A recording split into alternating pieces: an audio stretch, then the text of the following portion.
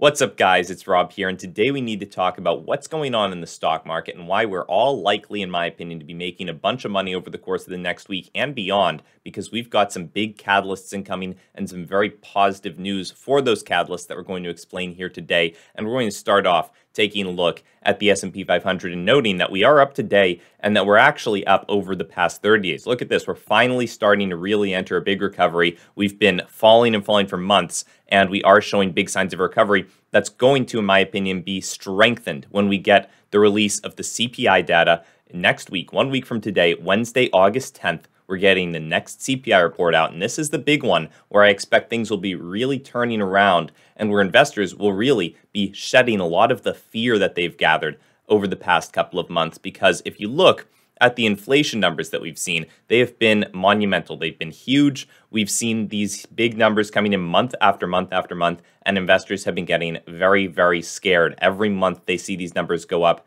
and they just get more and more fearful. And this next CPI report, we actually have analysts expecting, forecasting the highest forecast they forecast during this whole thing, the highest forecast they've ever done. 8.9% is what they're expecting for the inflation numbers. That's the highest one that we've seen throughout this whole escapade of high, high inflation. And I think, personally, I think they're going to be wrong, right? I think that they're going to get it a little bit too high. I think that we're going to see inflation lower than where they think. And there's a couple of reasons.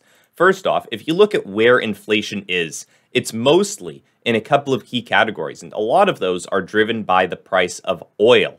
Oil has been skyrocketing over the past couple of months. You can see gasoline prices up 48%, airfare due to the oil costs up 37%, transportation oil based, right? Up 19%. Household energy, a lot of oil goes into that, 19%. You can also see food at home up 11.9%. A lot of these categories are actually on the decline. If you look at the price of oil today, you can see it's down 2%, and you can see that it's actually been falling dramatically over the past month. The month of July is going to be dramatically lower than the month of June. June was up here where we were seeing some of our peaks.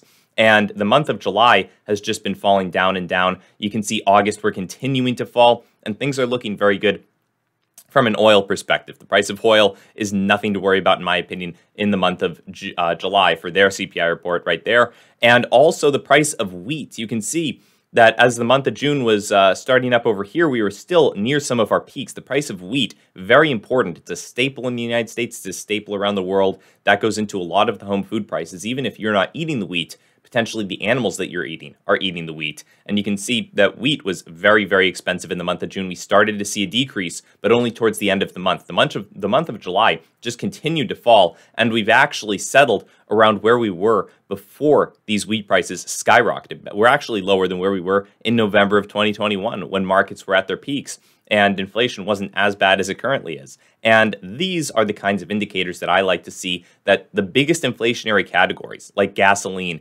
airfare, transportation, household energy, uh, and food at home, are likely going to be falling, and not just falling by a little bit, but falling quite dramatically. And, you know, I don't think it's just me that's noticed this. Obviously, a lot of people are buying up stocks in the market. Later today, we might make a video on what stocks I've been buying. I did buy a couple of stocks today, a couple of different stocks that we haven't talked about too much on the channel yet.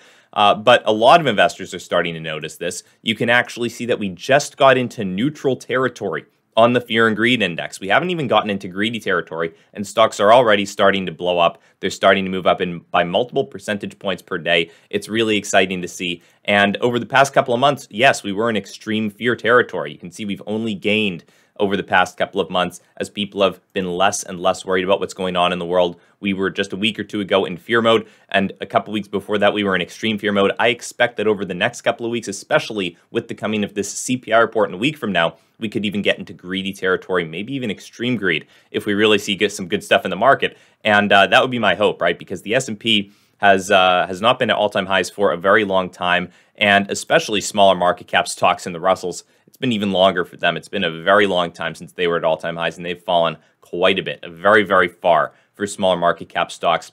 And, you know, the analysts, sure, the analysts are expecting uh, pretty high forecast of 8.9% for inflation. I think they're probably wrong about that. I think we might get it lower. That's not a guarantee. That's just my opinion. But, you know, we actually have the quote for the end of the video today coming from a subscriber, subscriber Danny Mack. Thank you very much for submitting this quote in the comment section below. Anyone else who wants their quote, feel free to put it in the comments below. And if I like it, I might choose it. But he said his quote right here is the majority can be just as wrong as the individual. And, you know, that's exactly what I think is going to go on with those analysts. Uh, the people expecting high inflation to continue, I think they're probably going to be wrong. I think that we're probably going to see low inflation, but this is important, uh, you know, in other circumstances, right?